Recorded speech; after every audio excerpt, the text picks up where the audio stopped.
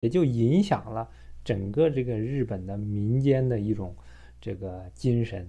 啊，什么武士道精神呐，或者是呃这个要忠啊啊忠于自己的工作，忠于自己的上级啊等等，跟这都有关系啊，大家可以读一读。那么呃，简短的说，我们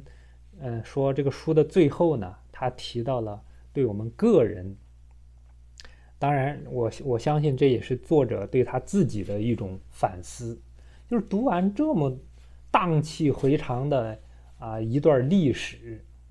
啊波澜壮阔啊大国迭相的崛起，互相取代，到最后总结出来对我们个人有帮助的是什么呢？他认为呢，啊，就是我们要。乐观，要积极进取，啊，要这个努力，要自强。最重要的就是要乐观，啊，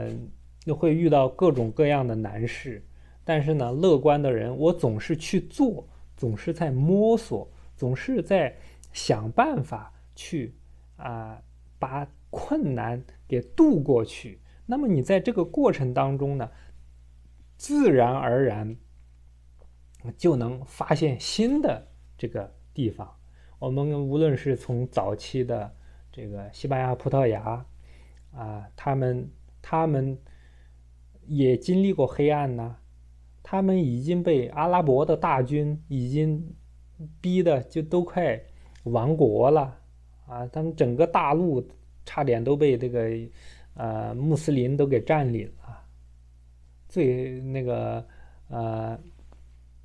他们在之前数次跟阿拉伯的这个大军交战，并没有占到上风，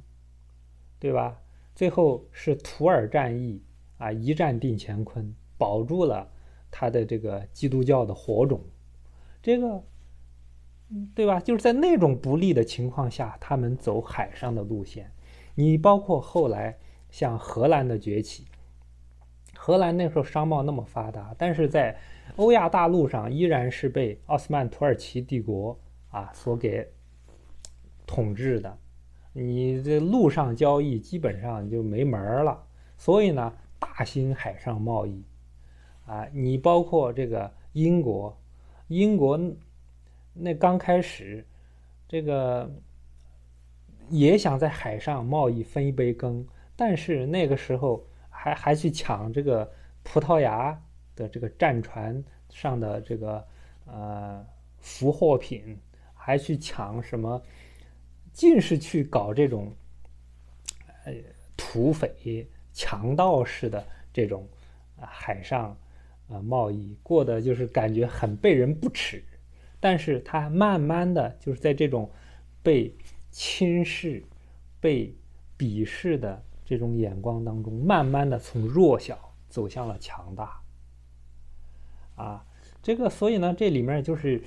他在讲国家，实际上呢，也就是在讲个人。啊，每个人呢都会经历黑暗，都会经历这个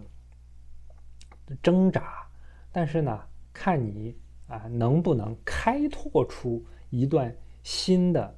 这个手段，然后去克服它，然后走向辉煌。